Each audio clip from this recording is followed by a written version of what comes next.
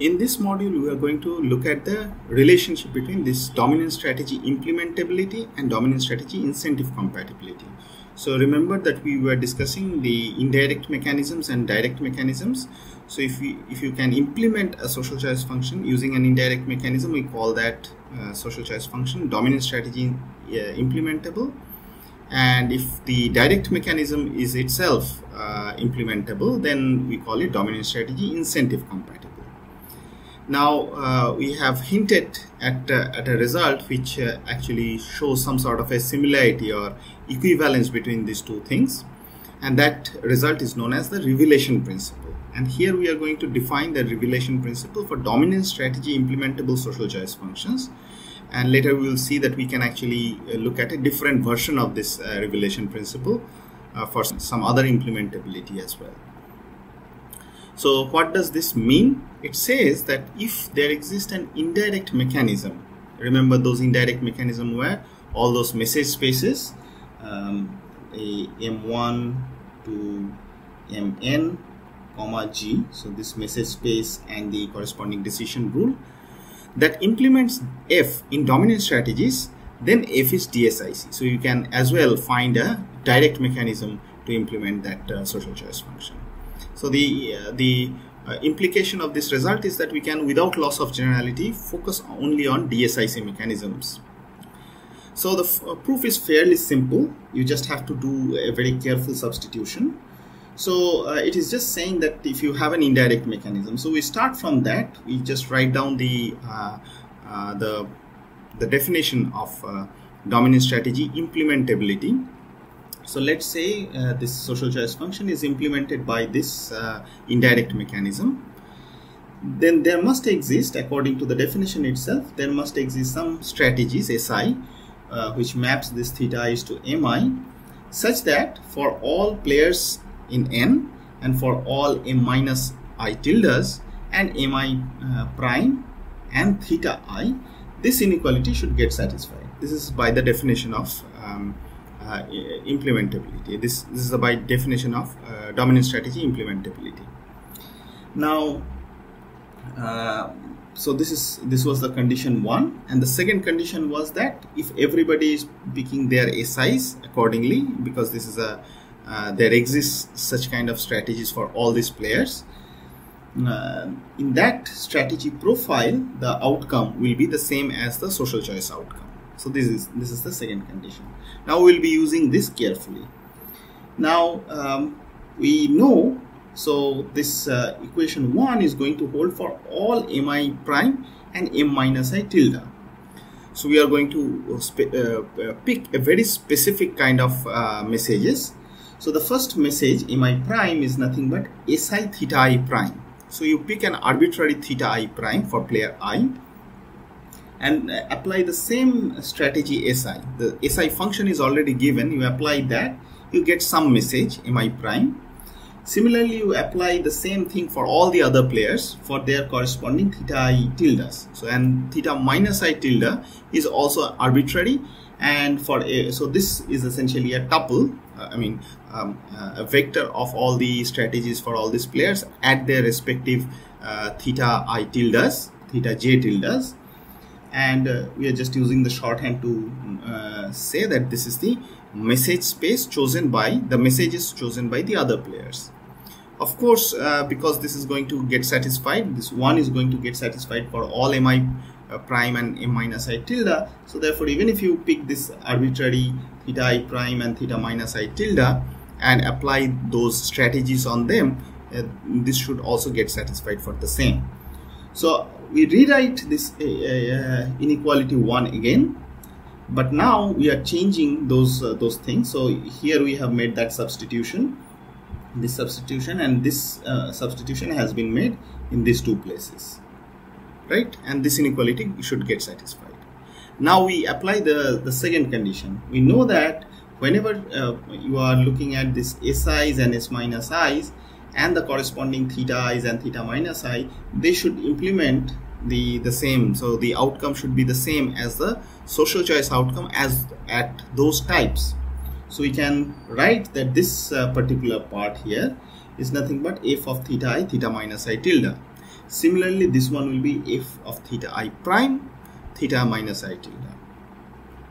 And now whatever you have is nothing but this, and this is the definition of uh, uh, DSIC.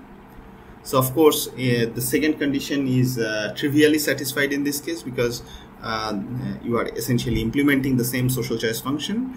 The the the direct mechanism in that case is the decision rule is f itself all that we needed to satisfy is this condition here which is getting satisfied as we have shown here so we can conclude that uh, this function f is uh, DSIC. So the whole phenomenon can be shown by uh, by a, a, schematic diagram here.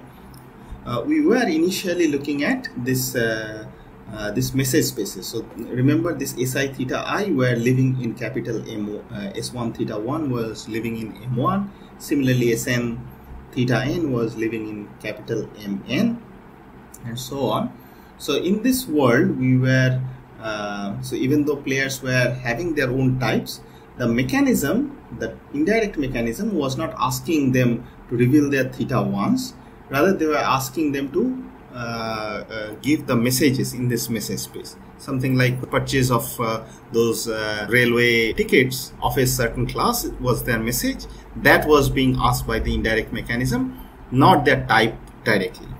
So this indirect mechanism was taking those messages and applying this uh, rule uh, of g and that g of s theta 1 uh, s1 theta 1 to sn theta 1 was uh, given as an output. Now what we can equivalently look at in the in this uh, after we know this revelation principle is that uh, if you are looking at only those indirect mechanisms which are DSIC then you can actually look at this dotted uh, box here. So instead of looking at all these intricate details of this S1s and uh, M1s M2s you can uh, look at the direct mechanism theta 1 to theta n and uh, this social choice function f directly and ask these agents to re reveal their their types. So they can report their types directly. You apply this f on that and you can also find uh, that this uh, there exists a mechanism the direct mechanism which will also implement this in dominant strategy. So uh, it is dominant strategy incentive compatible. uh, if you have uh, a dominant strategy implementable uh, social choice function Similarly, you can talk about the Bayesian extension. So, so far we have actually uh, spoken about only the, uh, the types of others which can take any value. So, we were saying that no matter what the message has been chosen by the other players or the types that has been chosen by reported by the other players, uh, the best response for this agent will be to report its type truthfully. So that is exactly what is meant by this inequality here that agent i is picking its type theta i and the other players are uh, picking whatever they are trying to pick. So this is this theta minus i was arbitrary. This inequality gets satisfied for all theta minus i tildes and of course for all theta i's and also for all i's for all i's so uh, here in the Bayesian extension we are weakening it a, a, a little bit uh, rather than looking at the the inequality being satisfied for all theta minus i tildes, we are taking the expectation with respect to theta i, theta minus i tilde given theta i. Once, so this is something like the uh, interim game where agent i has observed its type and it is trying to predict what is the uh, type, what could be the type of other agents and if it takes the expectation with respect to that, then it is beneficial for that agent to report its type truthfully. So let us define it formally. So we are going to assume that these types are generated from a common prior and this common prior is uh, a common knowledge. You can see uh, much similarity with this, with the uh, of this with the Bayesian game. So there also we had a common prior and that was also common knowledge. And this uh, uh, this type, the type of a specific agent is revealed only to that respective agent. So we are looking at this interim stage where the types are realized but only you see the ith component if you are player i and you cannot see the other uh, uh, types even though you have a probabilistic belief about those types so you can define this Bayesian game uh, which has the same set of players the the message space is essentially taking the space uh, place of the actions. You have this uh, original types capital theta i's. Now you have this common prior p. And based on what type you are you have a uh, different normal form game. And this message mapping remains as before. So all the um, uh, setup and notation remains as before. You are mapping these uh, types into the message spaces now we can define um, the indirect mechanism m1 to mn comma g uh, to be implementing a social choice function in Bayesian equilibrium. In earlier case, we were talking about dominant strategies. Now we have Bayesian equilibrium. Everything remains the same. In particular, this part also remains the same. The change that happens is earlier we were having, in this case, uh, we were having only m minus i tildes for, and we were uh, so this both these cases were m minus i tildes, and we are getting dissatisfied for all m minus i tildes. Rather now what what is going to happen is that we are taking this uh, this uh, quantity here. That is player i is choosing this uh, its true true type is theta i and uh, it is uh, choosing this action or the strategy of si other players are choosing their own strategies and this is becoming a bayesian equilibrium. So you are taking the expectation with respect to theta minus i given theta i. Once you have observed theta i you have this belief. You take the expectation with respect to that belief. And once you take that uh, reporting uh, picking any other mechanism any other message mi uh, prime is not beneficial for you. By and you are uh, still looking at the expected utility when you have observed your own type so this is uh, uh, quite naturally a little weaker than the previous definition of course, if the previous definition was true, that is some mechanism was dominant strategy implementable, that is definitely Bayesian implementable. You can do it as an exercise. So in uh, if these con two conditions get satisfied, then we call this F to be Bayesian implementable via this uh, indirect mechanism M1 to Mn G under this prior P. So of course, whenever we are talking about Bayesian uh, incentive uh, Bayesian implementability, then we are also talking about this prior uh, because that is very crucial. Uh, we have just uh, mentioned that this result that if a social choice function is dominant strategy implementable, then uh, it is also Bayesian implementable. It, it, it is very straightforward. Similarly to uh, the direct uh, mechanism in the in the previous case, we can say that the direct mechanism is Bayesian incentive compatible. Similar to the dominant strategy incentive compatibility, we have an equivalent uh, definition for Bayesian incentive compatibility, and we use this acronym BIC for it. If the same thing happens that uh, for every theta i and theta i prime, notice that there is no theta minus i tilde anymore because this is expected over uh, so you have this utility here when you are taking the expected utility after observing your own type. Uh, that is going to be at least as much as uh, when whenever you are moving or reporting some other theta i prime. So you are misreporting theta i prime that is not going to be any beneficial for you.